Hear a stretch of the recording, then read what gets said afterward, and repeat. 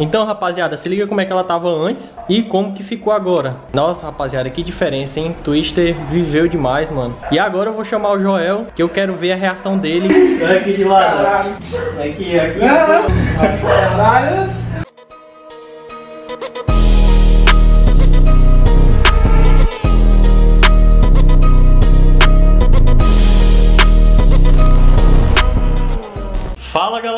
Quem fala é o Christopher, bem-vindos a mais um vídeo Rapaziada, olha a moto que eu tô aqui hoje A moto do meu parceiro Joel, vamos lá restaurar ela Quem lembra da pintura dos aros? E agora vamos completar o projeto da Twister Que é esse mesmo azul nas carenagens Nesse adesivo estilo 2019 Muito top rapaziada Então vamos lá desmontar a moto inteira Tanque, carenagem, rabeta Pra gente poder pintar, certo? Vamos dar uma olhada nela de perto Porque às vezes de longe a gente não percebe, né? Mas ela tá bem feinha, certo? Ó, tá bastante arranhado, preto, ó Em vídeo é difícil de ver. Mas pessoalmente o preto quando tá ruim é destaca muito, certo, galera? Ó, tem um arranhado aqui, mas graças a Deus não tem nada quebrado. Então isso já vai acelerar o processo pra moto ficar pronta, certo? Porque tudo adesivo que ele mandou botar, ó, não tem detalhe, não tem nada, a cor é morta. Aqui, ó, tá descascando já, certo? De resto, galera, a moto tá inteira. Só pintura mesmo pra ela ficar 100%. Então vamos lá desmontar a Twist. I'm doing things that I shouldn't do.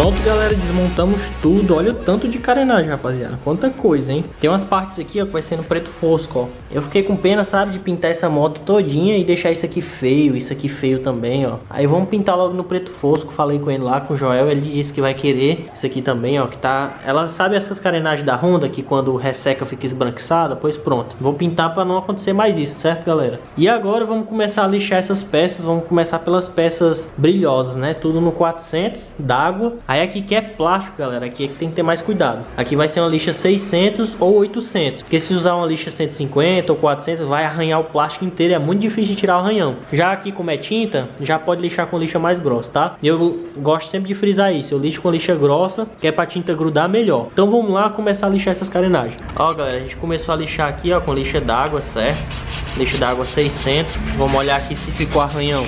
Ó, não fica arranhão, tá vendo? Ó? Fica lixadinho, mas sem arranhão, certo? Vamos lixar todas as carenagens de plástico. Aí essa daqui, ó, que é de ferro, tá com tinta spray, ó. Tá com tinta spray, tá bem grossa, ó. Tá feio, faz fosco, bonitinho, certo?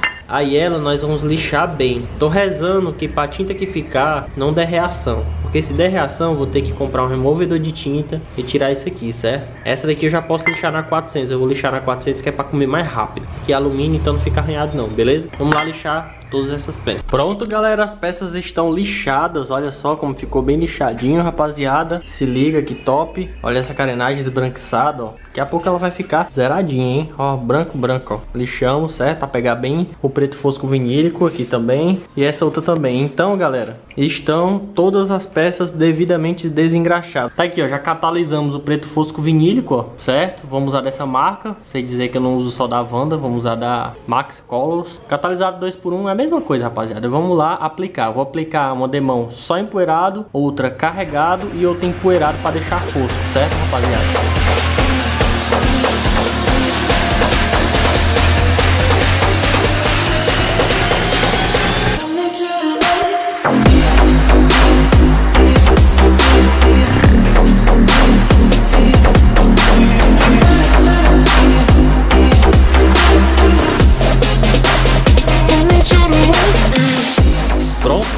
Terminamos de aplicar, se liga aí como é que ficou bem foscozinho, certo? Esperar aí secar por 12 horas. Ó, a carenagemzinha da rabeta. Bom que agora nunca mais ela fica esbranquiçada. Top, né, galera?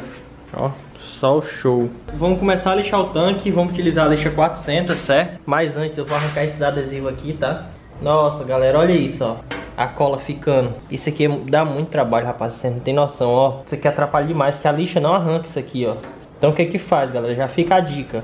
Vou tirar aqui os adesivos. E pra tirar a cola eu vou usar solvente, tá? Mas não usem demais, que senão deixa a tinta podre. Aí vai ter que usar removedor de tinta. Tá vendo essa cola aqui, ó? Atrapalha demais. Vamos ter que remover ela com solvente. Tiramos aí o adesivo, agora vamos remover essa cola. Tá aqui o solvente e o pano. Vamos olhar aqui, ó. Eu vou começar a remover a cola. Vocês estão vendo que com solvente, ó, sai bem mais fácil. Se fosse para lixar, pode esquecer, viu, galera, que não sai não. Vamos remover toda essa cola. Tiramos a cola, certo? Olha isso. Retiramos aqui o restante, ó. Aqui o restante das peças ali. Tava pensando em fazer aquela parte ali é azul. Mas não sei ainda. O que será? Que até agora azul é só a rabeta, as carenagens do tanque. Aí o tanque é preto. Só uma faixazinha aqui de lado que é azul. E o paralama também é preto, certo? Então vamos lixar essas peças aqui, certo? Vamos utilizar a lixazinha 400, certo? Ó, não é muito grossa. Não sei se eu passo a 150. Eu vou começar a passar aqui a 400. Se eu ver que tá demorando muito. É, até que não tá demorando muito não. Mas eu vou fazer assim, galera. No tanque eu vou usar 150 e nessas carenagens aqui, ó, eu vou usar a 400, beleza, rapaziada? Vamos lá lixar tudo. Pronto, galera, as peças completamente lixadas. Olha a nossa arrumação aqui, ó. Compramos um exaustor, botei uma blusa aqui, ó.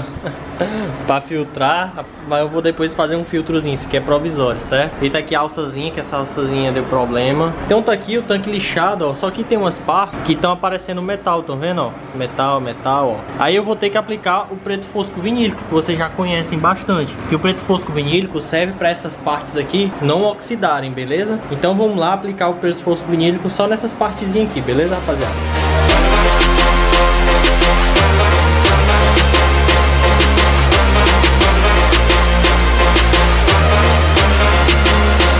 Pronto, galera, passamos o preto fosco vinílico, aguardamos 20 minutos, acho que passou até um pouco mais, 30. Não sei se vocês vão conseguir ver, ó, mas tá cheio de arranhãozinho da lixa, ó. Não tem problema, tá? Tem uns, umas partes aqui ainda marcadas. Preto fosco vinílico é só para isolar, galera, e não oxidar. Aí agora que eu vou vir com o primer, o primer vai cobrir tudo isso aqui, galera. E esses arranhão eu gosto de deixar que é pro primer grudar bem, tá? Então vou jogar primer agora em cima de tudo. Olha as peças aqui em cima, ó, todas desengraxadas. Vamos lá aplicar o primer. O primer que eu vou utilizar é esse aqui, ó, primer PU branco 5100. Ele vai ser catalisado no 3093, 5 partes dessa para onde catalisador e diluído entre 10 a 20% no 4030. Vamos lá aplicar esse primer.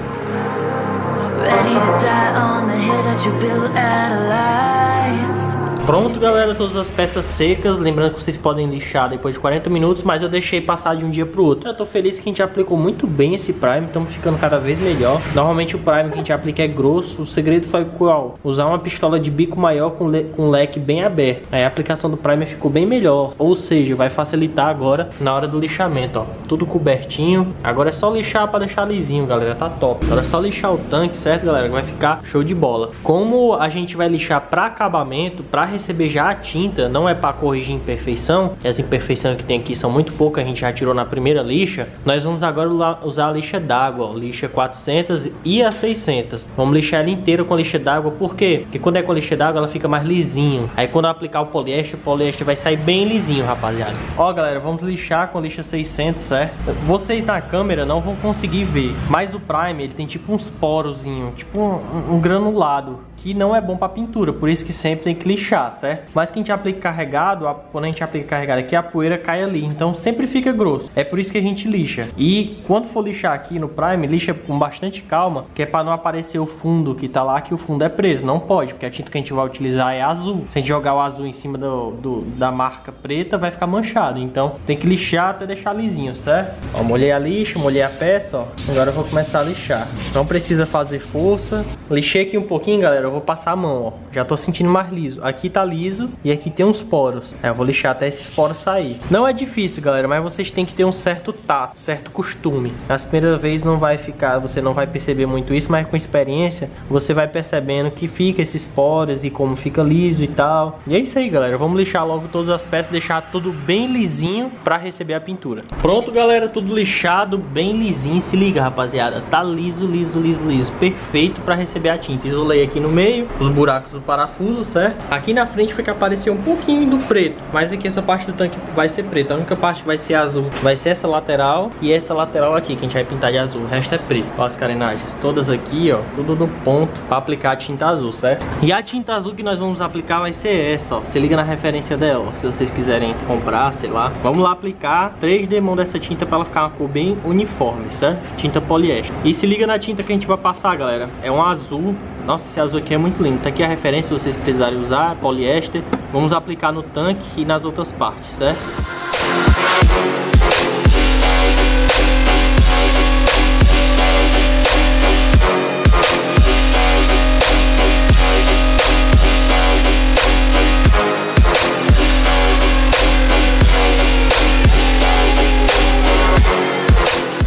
Olha só, galera, terminando de aplicar, foram apenas duas demãos, só que foi uma demão bem carregada, certo? A primeira bem, já foi bem carregada, a segunda mais ainda, deu uma boa cobertura, ficou show, galera. Esse azul é muito bonito, né, galera? Olha, fosco, ele ainda é bonito. Essa carenagem aqui, ó, Ó que top. Agora vamos ver ali o tanque ali dentro. Olha aqui o tanque, galera, com o brilho do, da lâmpada, como é bonito. Aí vocês devem estar se perguntando por que, que eu só pintei essa parte. Porque, galera, essa parte aqui é onde vai um adesivinho aqui e outro aqui. Por isso que eu tive que pintar essa bola toda para poder colocar o adesivo, para não ter falha, sabe?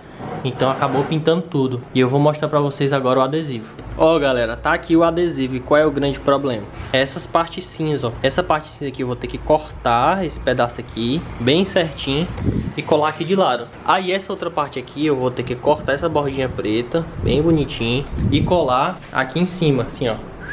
Aí depois que eu colar esses dois adesivos, quatro no caso, né, dois de cada lado, eu vou jogar o preto por cima. Aí eu vou arrancar esses adesivos e invernizar, entenderam, rapaziada? Porque tem esses outros dois aqui, ó, na verdade ainda falta esse, ó. Esse aqui vai por cima. Quando eu tirar o adesivo, eu vou colocar esse outro aqui por cima e invernizar esse pedaço aqui, ó. Entenderam, rapaziada? Nosso trabalho. Esse cinza aqui também a gente não vai utilizar esse daqui pra baixo. Vamos cortar aqui, ó. Certo? E é isso aí, rapaziada. Vamos lá aplicar esses adesivos. Pronto, rapaziada. Pensa no trabalho colocar esses adesivos, viu? Cortei bonitinho, coloquei. E agora vamos aplicar. Isso aqui é só para poder a borda não levantar, tá? Agora vamos aplicar o preto ninja por cima do tanque inteiro e do paralama. Aí vou destacar esses dois adesivinhos. No caso, os quatro, né? Ó, ficou bem alinhadozinho uma ponta com a outra. Lateral aqui não dá para ver, tá escuro. Vamos lá aplicar o preto ninja.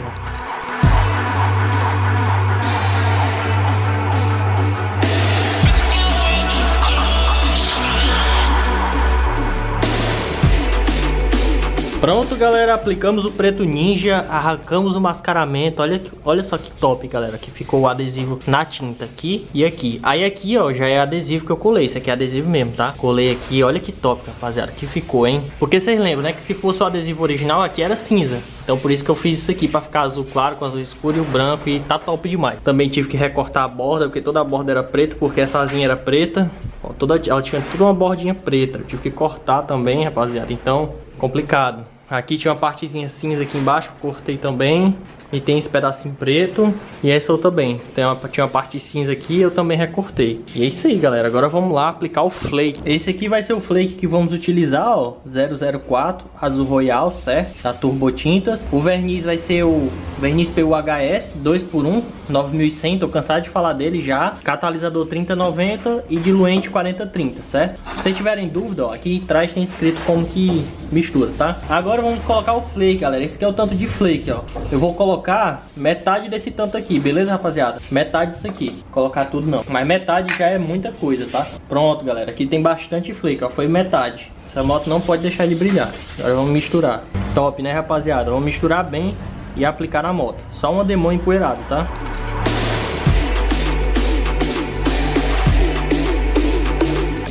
Ó, galera, primeira demãozinha de flake, ó, o flake não brilha, ele fica só os pontinhos foscos, certo? Não brilha ainda, porque tá meio fosco ainda, a gente só deu uma camada de flake, entendeu? Agora a gente vai dar um verniz mesmo pra ficar liso, certo? Vamos dar três demãos de verniz e ele vai ficar lisinho e brilhando.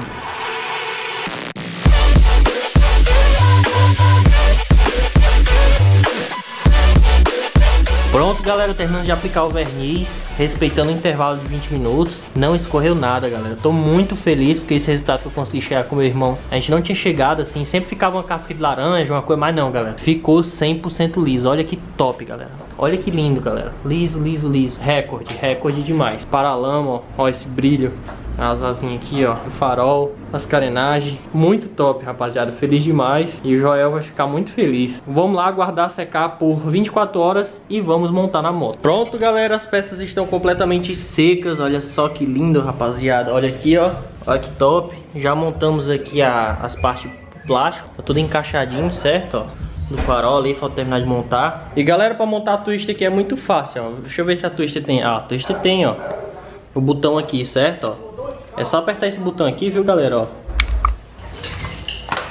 E ela se monta sozinha, rapaziada. Olha só como que a Twister ficou. Caraca, galera. Deixa eu virar o guidão aqui. Mano, olha pra essa moto. Que doideira que ficou, rapaziada. Linda demais. Se liga. Essa frente, ó. Olha isso, rapaziada. O lateral dela aqui, ó, o nome, adesivinho, emendando com a carenagem, puxando, ó. Olha o tanque, olha esse brilho. Muito top, né, galera? Cê é louco. Então, rapaziada, se liga como é que ela tava antes e como que ficou agora. E, galera, se liga como ela tava logo no começo, que eu também pintei esses aros aqui no canal. Se liga como é que ela tava antes e como que ficou agora. Nossa, rapaziada, que diferença, hein? Twister viveu demais, mano. O Joel já tava querendo fazer isso aqui já faz muito tempo e até que enfim deu certo. Conseguimos pintar ela do jeito que ele queria e tá muito top, galera galera. Muito, muito top. E agora eu vou chamar o Joel, que eu quero ver a reação dele quando a gente mostrar a moto pronta. Olha aqui, olha aqui, olha aqui, ó. Caralho. Caralho, doido. Aqui, aqui. Olha aqui de lado. Aqui, aqui. Caralho. Tá pronto, vem pra cá, vem pra cá assim, pra cá, Vem pra cá, vem pra cá assim. Tá pronto. Caralho. Puta que pariu,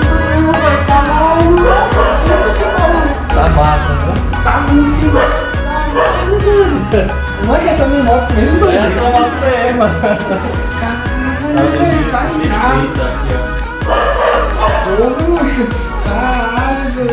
Então é isso aí, rapaziada. Essa é a Twister. Ficou top, ficou estilo original, mas personalizado. Pra quem não sabe, esse modelo é da 2019. Só saiu vermelha e cinza, se eu não me engano. Aí, não existe esse modelo na cor azul. Então essa daqui fica uma Twister única, a Twister do Joel. Onde vocês verem já sabem que é a Twister dele agora. Então é isso, espero que vocês tenham gostado do vídeo de pintura. Muito obrigado por ter assistido e até a próxima, galera. Valeu, fui!